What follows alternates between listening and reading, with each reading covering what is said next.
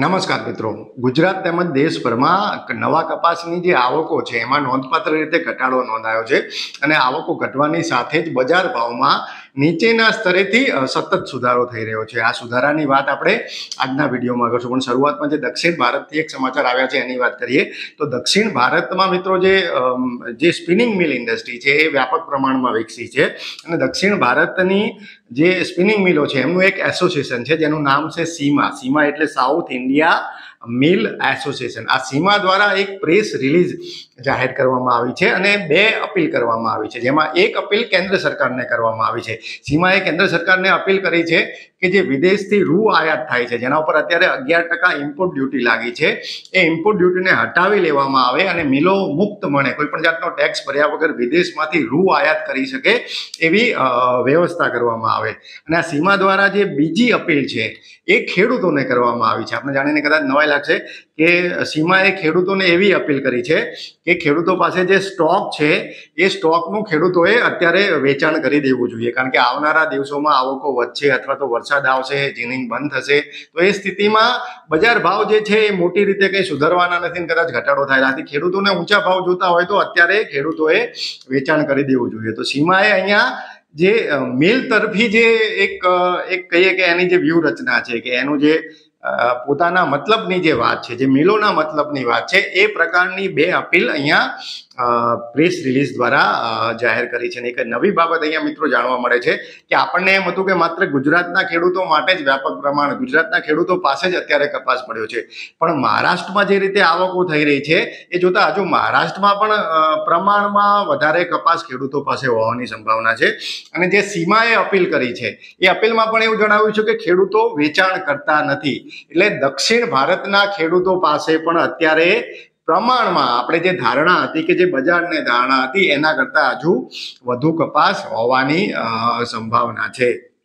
તો આ વખતની જે સિઝન છે મિત્રો, એ ઘણી બધી ધારણાઓને એક રીતે ખોટી પાડે એવી સાબિત થઈ છે. તમને એક દાખલો આપું કે એપ્રિલ મહિનામાં એપ્રિલ મહિનામાં આ વર્ષે, એટલે કે આ સિઝનમાં એપ્રિલ બે હજાર ત્રેવીસમાં આપણા દેશમાં અંદાજે બેતાલીસ લાખ ઘાસડી રૂની આવક થઈ.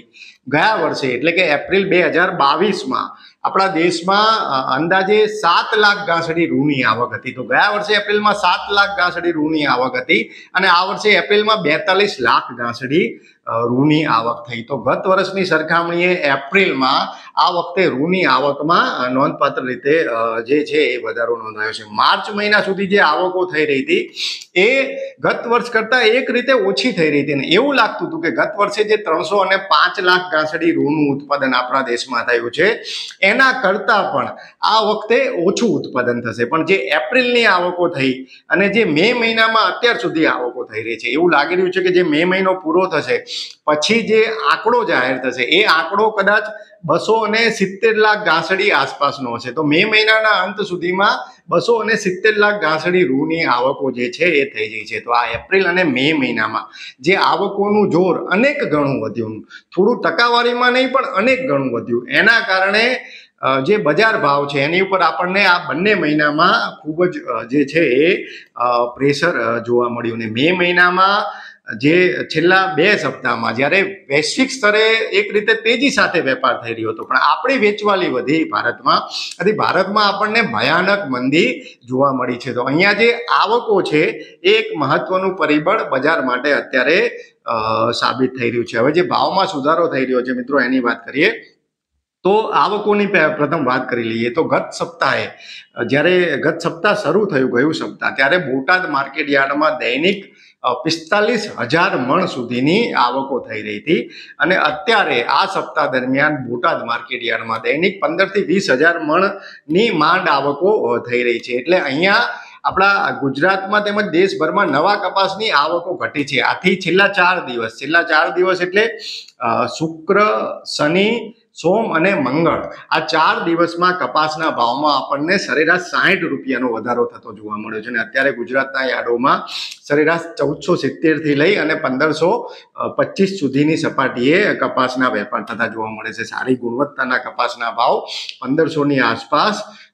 ફરી પહોંચી ગયા છે. તો અહીંયા જે આવકોનું ચિત્ર છે મિત્રો, એ હવે સમજવું ખૂબ જ જરૂરી છે. કારણ કે જ્યારે આવકો અત્યારે ઘટી છે, તો એ આવકો ખરેખર કપાસ ખાલી થઈ રહ્યો છે, સ્ટોક ખાલી થઈ રહ્યો છે. હવે સ્ટોક બહુ રહ્યો નથી. એના કારણે ઘટી છે કે પછી નીચા ભાવે ખેડૂતોએ વેચવાલી અટકાવી છે. એના કારણે ઘટી છે. એ મુદ્દાનો પણ અહીંયા અભ્યાસ કરવો જરૂરી છે. તો આ અંગે આપના શું અભિપ્રાય છે એ અમને કોમેન્ટમાં જણાવજો. હાલ બસ આટલું જ. ફરી ઝડપથી મળીશું નવા વિષય સાથે. જોડાયેલા રહો એગ્રી સાયન્સ સાથે. જય કિસાન.